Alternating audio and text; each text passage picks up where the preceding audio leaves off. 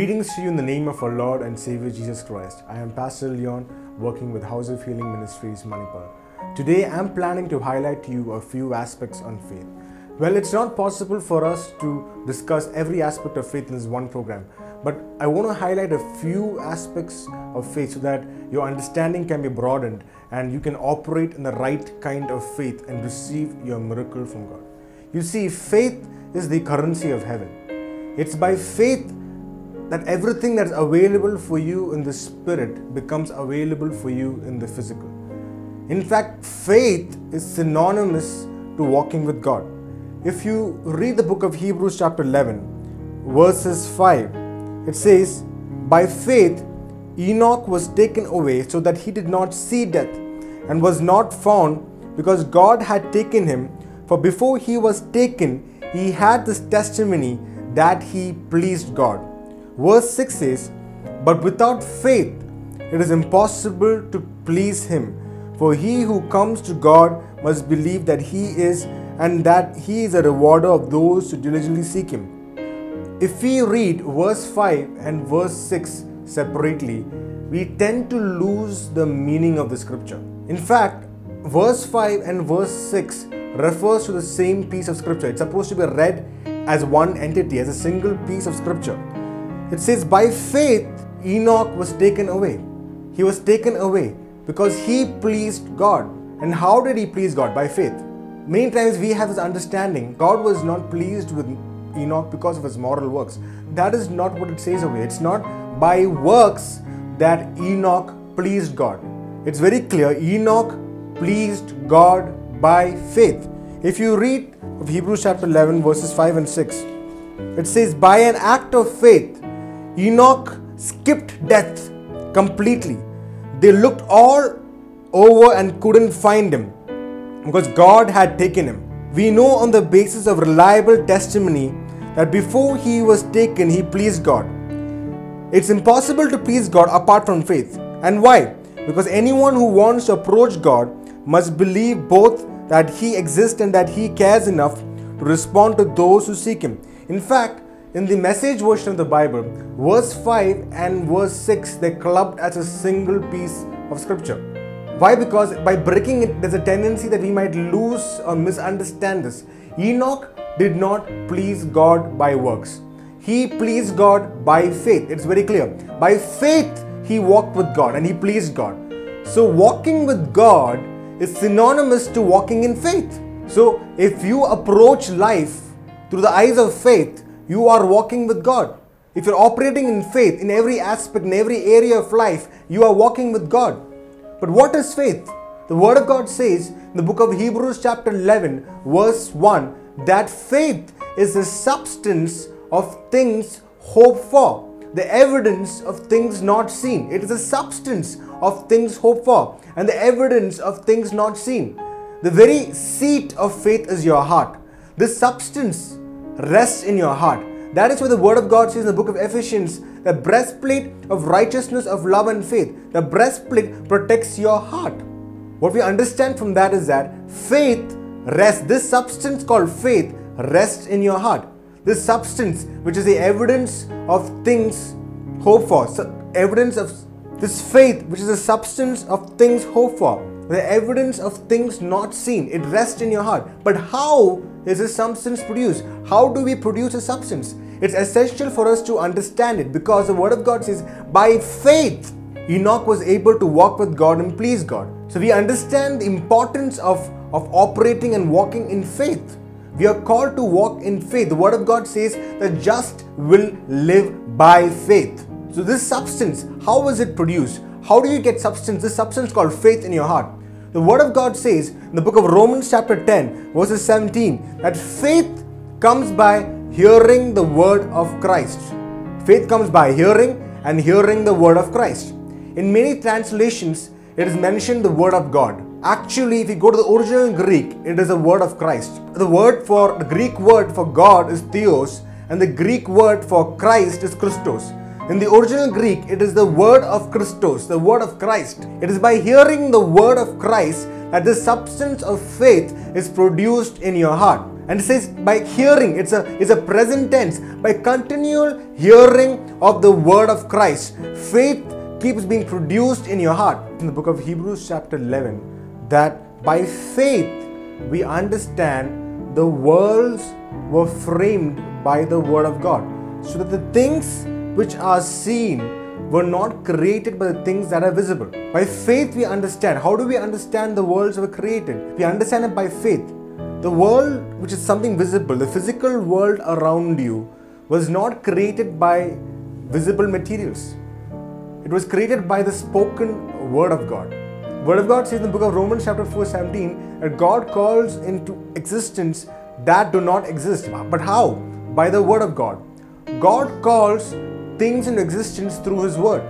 There is faith in everyone's heart, be it a believer or non believer. There is the God kind of faith or there is a human faith. Any person has some kind of faith, they believe in something or the other. Reason why somebody will not uh, uh go out in the night when there is thunder and lightning is because they have a fear, they have this kind of a faith in them, negative faith that if they go out in this circumstance, they may get struck by lightning. So there is some kind of a faith.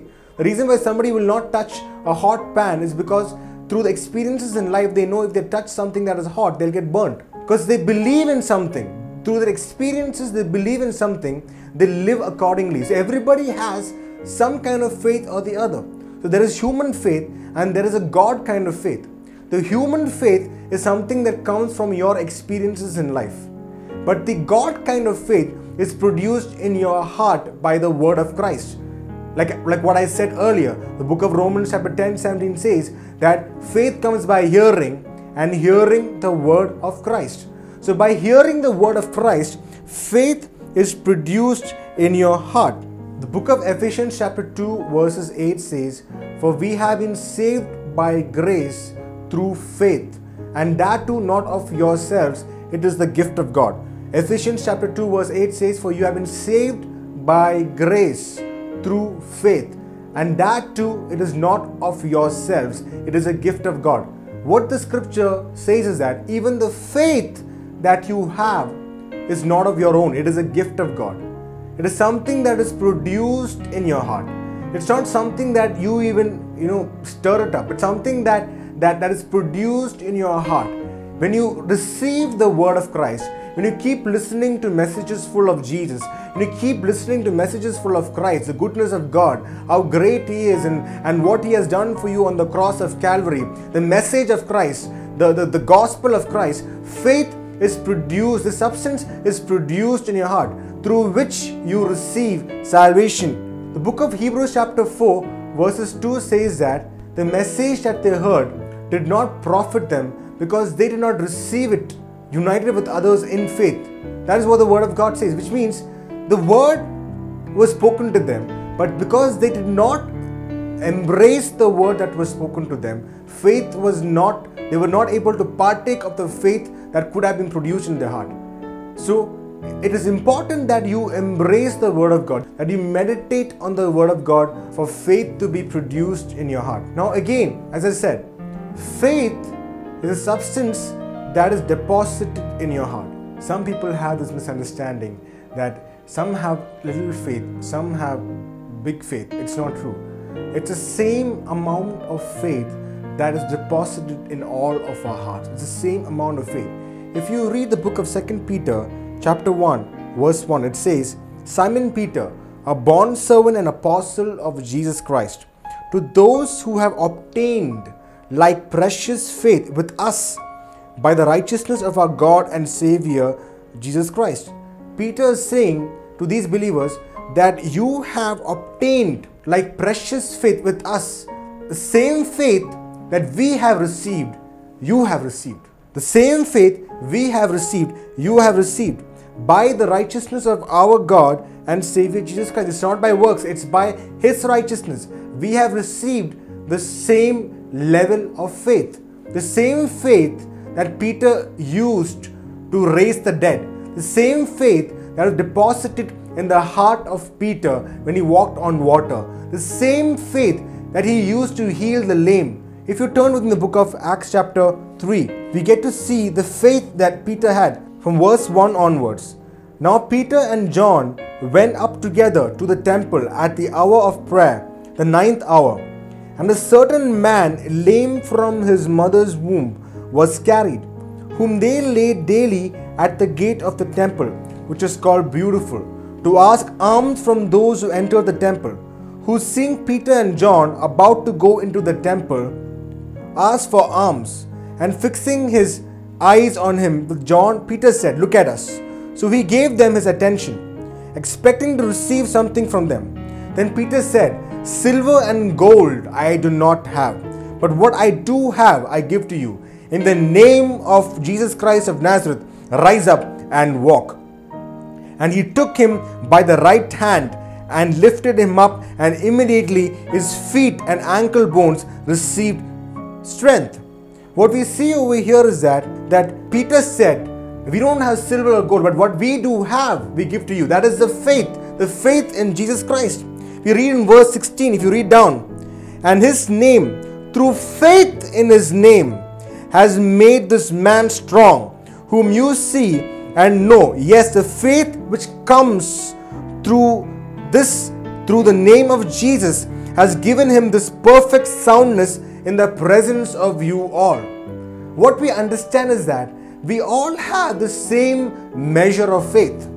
We all have the same supernatural faith of God deposited in our hearts when we receive the Word of God. When we receive the Word of Christ, the Christ centered Word of God, the good news of God, when we receive the good news of Christ, the faith is produced in our hearts, and we all have the same measure of faith available to us. Then this question comes then why is that that brother has a greater miracle? I, I don't have the same miracle. He, he is able to operate more in faith, and I'm not able to operate in the same amount of faith. Well, the difference is how you think. It is a knowledge problem. It's about knowing what is available to you. Your faith, though the same faith is available to all, it is your understanding of it, of how to operate it and how to use it, makes it effective. For example, if I have thousand rupees and if another person has thousand rupees, we both have the same amount of money, but he can use his thousand rupees to buy something for out of thousand rupees, he can purchase something for 300 rupees. And out of the thousand rupees I have, I can purchase something for 500 rupees. We both had the same amount of money, but what made the difference is the way we used it. And why people find it difficult to operate in faith is because they don't understand, they don't know, they don't have the knowledge of it. The Word of God says in the book of Philemon, chapter 1, verse 6. The Word of God says in the book of Philemon, chapter 1, verse 6, that the sharing of your faith may become effective by the acknowledgement of every good thing which is in you in Christ Jesus. It says your faith becomes effective when you acknowledge every good thing that is in you in Christ Jesus. Beloved, the healing is in you, the prosperity is in you, the freedom is in you, the security is in you, the safety is in you. Everything is available to you. It's available to you in the spirit. You don't have to pray for it, it's already in you. But the moment you acknowledge it, the moment you renew your mind with what is already available for you, you're able to effectively operate and release it into the physical realm by faith. So, the first aspect of faith is that you must learn to acknowledge. You must learn to acknowledge what is available to you. Through the finished work of Jesus, everything that you need is available for you. You want deliverance? It's available to you. You want freedom? It's available to you. You want forgiveness? It's available to you. You want prosperity? It's available to you. You want health? It's available to you. Everything is available to you. The Word of God says, By His stripes you are healed. The Word of God says, He became poor so that you would become rich. Everything is available to you to the finished work of Jesus. But whatever is available to you through the finished work of Jesus becomes available to you in the physical realm or is transacted into the physical realm by faith. So when you acknowledge, when you understand, when you acknowledge all the things available for you, your mind is renewed. The renewing of your mind is very important for you to operate effectively in faith. You see, when you go to church, when you hear the word of grace, when you hear the word of Christ, you are so empowered. You know that you are a child of God You know that, that you have a father who loves you. You know that you don't have to worry. You know he'll provide for you. So you are reminded every time you read the word of God, when you go to church, when you spend time with God's word, you're reminded of your identity of who you are in Christ. What happens is that when you step out into the world, Satan tries to rewind your mind. He tries to rewind your mind. So there are two forces operating against you. One is the reminding power of God's word, other is the rewinding power of Satan. He tries to rewind your mindset through circumstances. He throws situations in front of you and he makes you doubt the word of God. He makes you doubt your identity.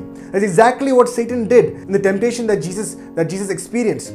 If you read the book of Matthew chapter 3 and 4, we hear as soon as Jesus came out of the water, the heavens opened up and God the Father said, "This is my beloved son in whom I am well pleased."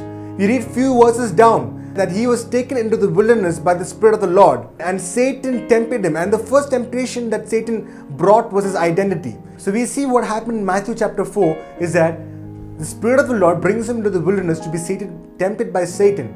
And Satan tempts him by saying, If you are the Son of God, he made him doubt his identity. If you are the Son of God. This is exactly what happens. The reason why many believers are not able to operate effectively in faith is because they don't acknowledge, they are not able to walk with a renewed mind. Beloved, every day when you wake up, you need to remind yourself of who you are in Christ. You need to remind yourself of all that's available through you through the finished work of Jesus. You need to remind yourself of everything that the Word of God says about you. Acknowledge every good thing in you. You have the same faith that was there in Peter, the same precious faith we have obtained, the same precious faith that was there in Peter when he walked on water. The same faith which he used to heal the lame man, the same faith he used to raise the dead is in you. But it is your renewed mind that helps you to effectively operate in it. The other aspect of faith is that it must be confessed. Faith is meant to be confessed. The Word of God says in the book of Romans, chapter 10, verse 10 For with the heart one believes unto righteousness and with the mouth confession is made unto salvation. With the mouth confession is made unto salvation. The word of God says that out of the abundance of the heart the mouth speaks. Few moments back I told you the very rest place of faith is your heart. Faith rests in your heart. And if your heart is full of faith, it is confessed. So confession is another important aspect of faith that you confess the word of God. It says, confession unto salvation. The word salvation comes from the Greek word soteria, which means deliverance, preservation, safety, health, prosperity. It means all these things. Some people have a misunderstanding. Salvation refers to only the saving of your soul from hell. No, that is wrong. Salvation is, does not refer to only the saving of your soul from hell. We have this tendency to, to define and understand everything in terms of sin. If somebody asks us what is holiness, we will say, yeah, holiness, many of us will say holiness is the quality of keeping oneself undefiled from sin. But let me tell you something. Even before sin came, God was holy. The word of God says, Be holy, for I am holy. God says, Be holy, for I am holy. Even before sin came into picture, God was holy. Holiness is the very nature of God. In the same way, even, even salvation, many times people think salvation only refers to being saved from sin, being saved from hell. No, salvation refers to safe, it refers to being full of good health, it refers to all these things. That is the wholesome meaning of the word salvation. And the word says confession unto salvation. You need to confess your health. Confess when you're having a pain in your body. See, by his stripes I am healed. Through the finished work of Jesus, I am healed. When there is some kind of a lack in your life, say some kind of a financial lack, say that that through his poverty I am made rich. The word of God says in the book of Deuteronomy chapter 8, 18, that God gives us the power to make wealth. God is interested in your prosperity. The word of God is very clear. If you read the book of Deuteronomy, chapter 28, all the blessings of God are enlisted over there. And yes, very clearly, God wants you to prosper. God wants you to be happy. He wants you to be the head and not the tail. God is interested in your prosperity. He's interested in your well being. every aspect of your well-being. Is interested in your good married life. Is interested. He's, he's, he's he desires you to walk in good health. That is why He sent His Son Jesus. Not only that, so that you'll be saved from hell, so that you'll experience wholesome salvation in your life. Beloved, I, I, I, I pray that you will understand, that you will understand this message so that you will be delivered from many areas in your life that you're struggling in. Let me tell you a testimony of something that happened to me. When I was in my second year in engineering, I fell from the train and I injured my leg, my both my knees. And my left knee was especially creating problems for me. My right knee was not creating many problems, but my left knee was having a, a, a, a very bad pain, and I soon started limping. When I went to the doctors, the doctors said that, that there has to be surgery done for this knee. Otherwise, there is no other, this knee can be made whole. But what, what I started doing is that I started confessing the word of God. I am healed by His stripes. I started believing the, the, the healing that is available for me through the finished work of Jesus. And as I started confessing the word of God, by his stripes I am healed. By his stripes I'm healed. Jesus said, It is finished to every knee pain. I, I experience healing in my knee and I'm able to have a normal knee now. Beloved, I'm telling you, confess the word of God into your situation. That is one aspect of faith. Faith ends up in you confessing the word of God, confessing what, what, what God will do in your situations. If it's in any area of lack, confess what the word of God says concerning a situation. Another aspect of faith is faith always acts. Faith is always in action. The Word of God says that faith without works is dead. Many times people have misunderstood that scripture as this scripture refers to the to the very nature of faith, to the very nature of faith. Now, I want to highlight another aspect of faith. Faith is active and it is not passive. If you read the book of James, chapter 2 verse 14 it says what does it profit my brethren if someone says he has faith but does not have works? Can faith save him? If a brother or sister is naked and destitute of daily food and one of you says to them depart in peace be warmed be warmed and filled but you do not give them the things which are needed for the body what does it profit? Thus also faith by itself. If it does not have works is dead but someone will say you have faith and i have works show me your faith without works and I will show you my faith by my works. What James is trying to say is that genuine faith produces works. It's not referring to moral works which you must do to become righteous. You are already righteous because of the finished work of Jesus. The Word of God says, He who knew no sin has become a sin for you, so that you would be the righteousness of God in Christ Jesus. These are not works for you to become righteous. These works refer to the nature of faith there is a uh, there is a very famous uh, story. Uh, uh, an entire church prayed for rain, but, but when they went out, only one girl carried the umbrella with her because she really believed that God would answer the prayer. The rest of them did not really operate in genuine faith. That is what the scripture is talking about. The genuine nature of faith. If you really believe that God has blessed you, be a good giver. Be a good giver. You'll be a good giver. You will give because you know you're already rich. You will you will get up and walk because you know you are already healthy. That is what this word is referring to, the very nature of faith. It says in verse 21 Was not Abraham our father justified by works when he offered Isaac his son on the altar? Do you see that faith was working together with his works, and by works faith was made perfect? See what we what we read in verse 21 and 22 is that Abraham was able to offer Isaac as an offering because he had genuine faith. If you read the book of Hebrews, it says that by faith he offered Isaac because he believed in his heart that God is able to bring him back to life. It is actually by faith that he offered. He knew that God was able to bring him back to life, even if Isaac was dead. He had that kind of faith. That is what the scripture is talking about. Beloved, before I before I, I finish my message, I just want to once again uh, uh, review all that I spoke to you. The first thing I told you is that faith is synonymous to walking with God. Enoch walked with God by faith.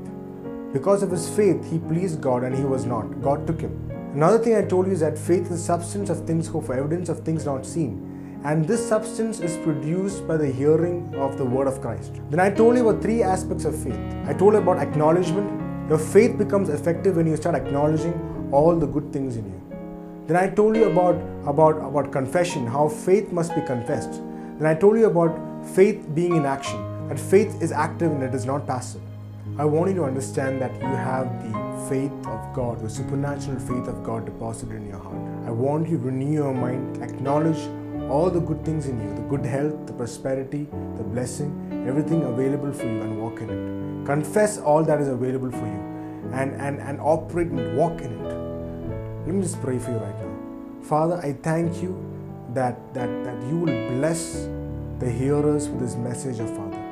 I pray that you'll bless their hearts, that you'll help them to walk in the faith, to understand the faith that is deposited in their hearts, that they will understand the only gap between the natural and the supernatural is an unrenewed mind. That they will be able to walk in the faith, that through the acknowledgement of every good thing, through the acknowledgement of every good thing deposited in their heart, every good thing that is deposited in their spirit, they will be able to walk in good health, in prosperity, in deliverance, in freedom. Yes, O God. And I pray, God, that you will reveal to them, O Father, all that is available to them through the finished work of Jesus. I thank you that you hear our prayers. In Jesus' name, amen.